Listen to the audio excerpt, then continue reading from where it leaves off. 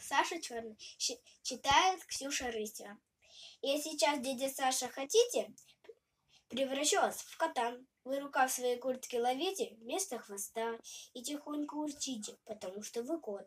И, зажмурив глазки, лежите свой пушистый живот.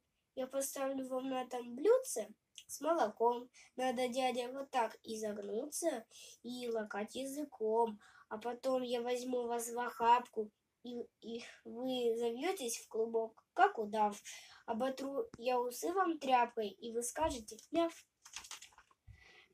За а кота настоящего пышку превращу я хотите вас. Пусть, уткнувшись мордой в книжку, просидит целый час. Пусть проходит по, ко- по комнатам вяло, ткнется рыльцем в стекло.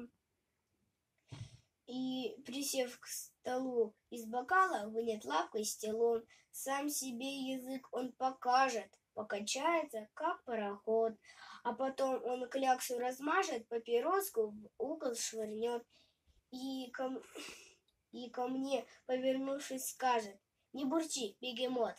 Но в ответ на мальчишкины бредни проворчал я. Постой, я и сам колдун не последний. Погоди, золотой, за такое твое поведение наступлю я тебе на мозоль. Вот сейчас рассержусь и в мгновение превращу тебя в моль.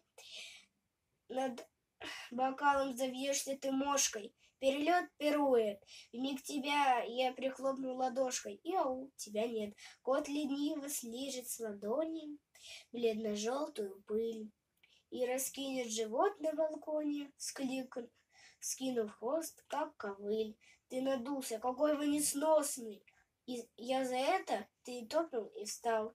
Превращу я вас в дым папиросный, но, смеясь, я сказал, опоздал.